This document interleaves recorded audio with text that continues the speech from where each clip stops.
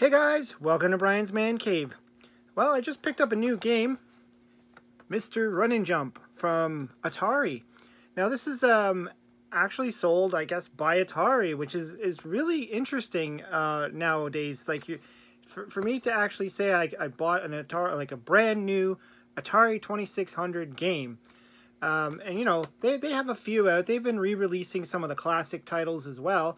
Um, you know, when, when the Atari 2600 Plus came out, uh, they, they started releasing some other Atari games, some collector's edition versions and all that other stuff.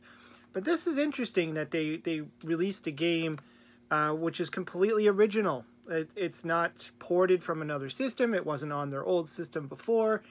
Um, from, from what I understand, I, I think there's a version of this on the Atari VCS, the new VCS that they came out with. I'm not 100% on that one. I don't really know too much about the VCS. I haven't looked too much into it, actually. I, I probably should. Um, but anyways, yeah, so...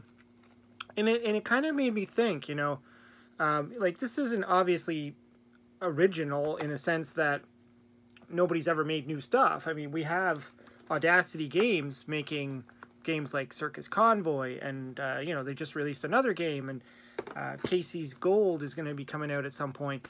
Um, so, you know, we always had that. And of course, for the Intellivision, we, we have all these, you know, we, we do have a lot of like products like Miner 2049er, Homebrew, uh, you know, DK Arcade, and, um, you know, my Napoleonic Wars game that came out. Uh, so obviously, you know, the homebrew scene is, is uh, going strong to, to a point. And what I was tr trying to, like, really thinking about was the difference between um, how they made games in the past, like the concepts and, and what they made in the past, and today.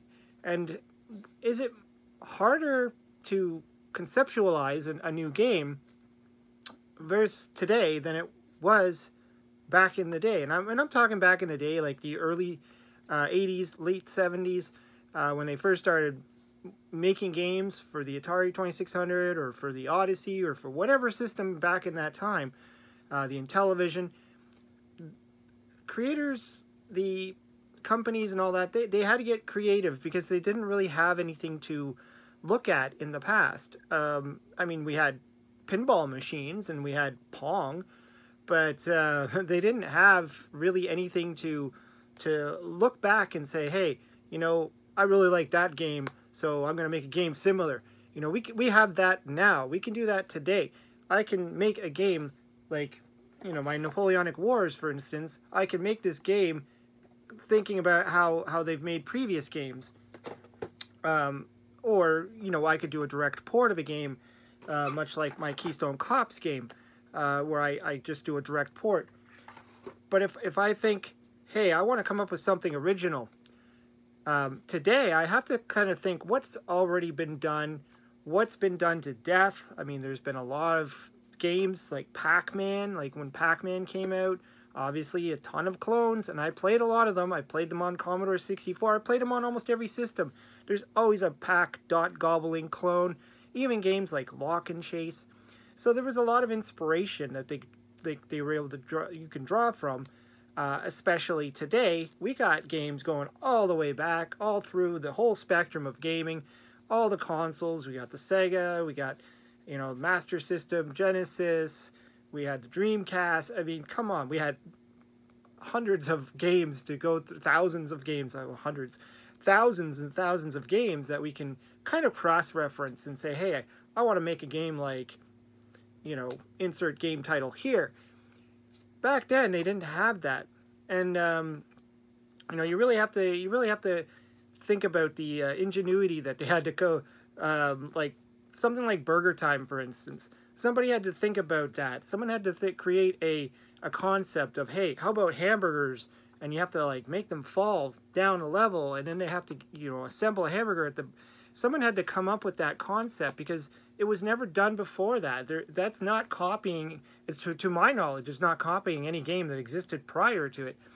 Now, obviously, during the arcade days, when, when they were building these games at Atari, um, I'm sure they communicated with each other and, and they looked at each other's work and they were like, oh, you know, um, and and any other competitors that might have started popping up in the day, um, and they probably were cross-referencing and, and looking, but really they didn't have too much to look back at.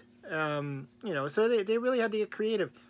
I was watching the um, what was it? Uh, it was it was a special on Netflix about video games, and they were talking. I think it was how games were made or something, and they were talking about Donkey Kong.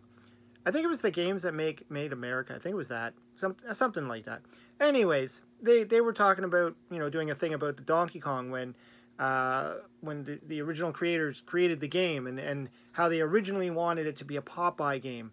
And they started constructing this concept of, of you know Brutus or Bluto, whatever his character, the character's name is, and Popeye being the uh, you know the the you know the character, and then having to save Olive Oyl, and they constructed this concept, and then obviously through licensing issues and all the other stuff, they ended up making it something different, and they created Donkey Kong, and they created the girders, they created you know same concept, but they had to put that together because that they didn't just simply copy a game that already existed.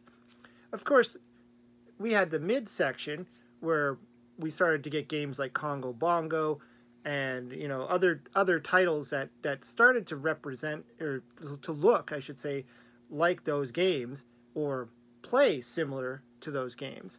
And they had it, you know, they had it pretty good. They could they could say, okay, let's look at what was made.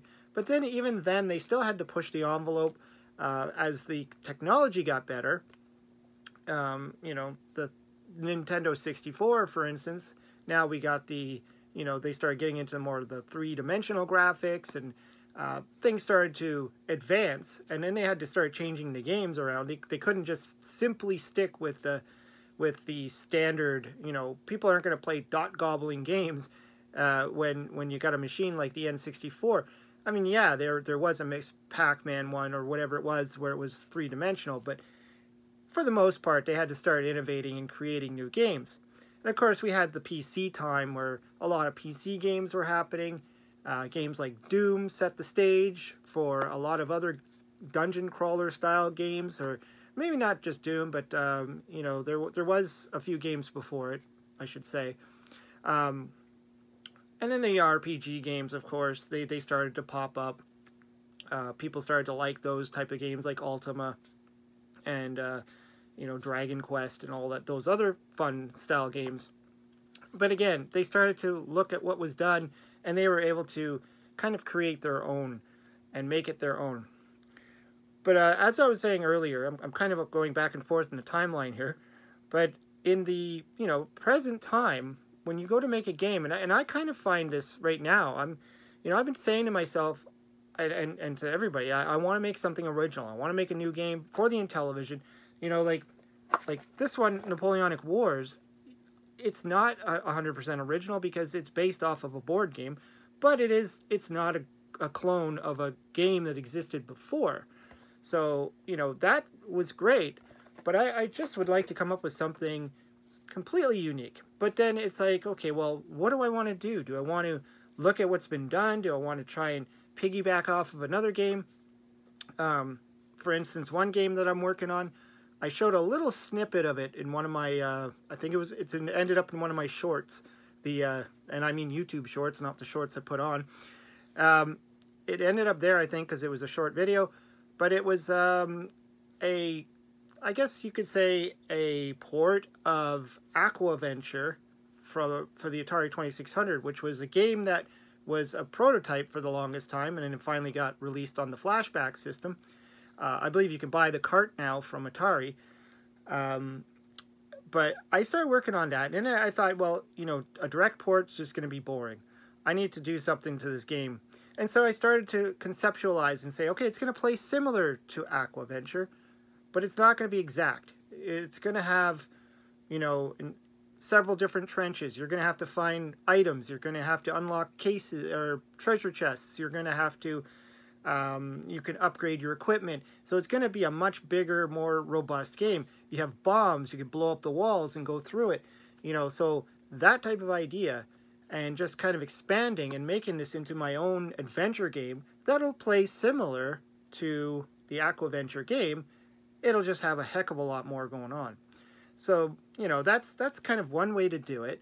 Uh, I would still like to come up with my own original concept, but it's hard. It's like everything feels like it's been done, um, which is the opposite problem from when uh, the designers, developers, programmers in the in back in the day. Sometimes it was always it was all the same person.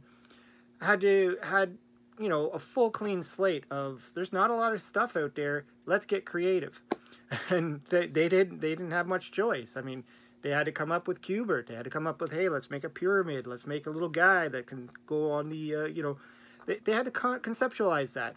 Um, centipede, you know, for instance, let's have these centipede things coming down.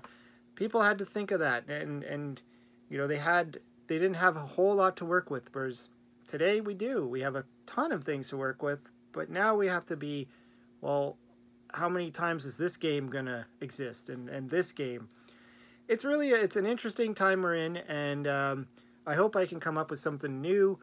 But you know, maybe sometimes it takes a help from the community to throw some ideas around. Anyways, before I let you go, again, I'm showing my Napoleonic Wars because I do sell this game at my, on my website. If you're interested in it, uh, go check it out. I also sell signed copies if you're interested in that too. Anyways, let me know what you think. Throw some comments down below. Hope you subscribe. We'll talk to you later.